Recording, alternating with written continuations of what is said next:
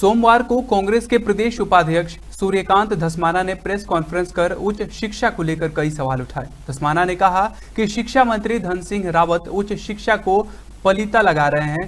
पहले के समय में उच्च शिक्षा का पाठन पठन उच्च स्तर का था, लेकिन आज वह कहीं दिखाई नहीं देता।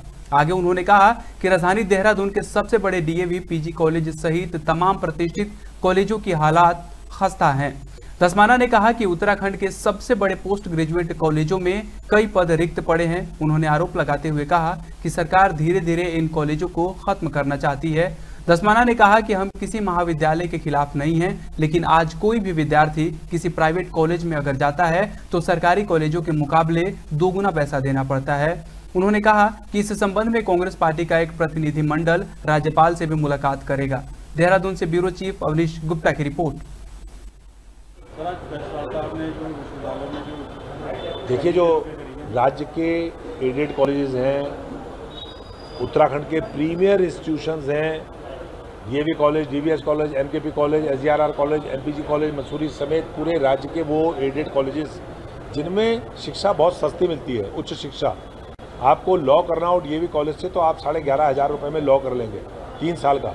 लेकिन आप वही लॉ करने प्राइवेट यूनिवर्सिटी में जाएँगे तो साढ़े चार, पाँच लाख रुपया आपका लगेगा। सरकार की साजिश है कि इन एडेड कॉलेजेस को ख़त्म करो प्राइवेट यूनिवर्सिटीज़ को बढ़ावा दो। 26 प्राइवेट यूनिवर्सिटीज़ पाइपलाइन में हैं, जिनको सरकार आने वाले समय में विधानसभा में एक्ट ला करके बनाने जा रही है। ये क्या साजिश है? आप इन तमाम प्रीमियर इंस्टीट्यूशंस को, नित्यानंद स्वामी राज्य के पहले मुख्यमंत्री यहाँ के काम चलाओ सरकार के, वो डीएवी कॉलेज के अध्यक्ष रहे।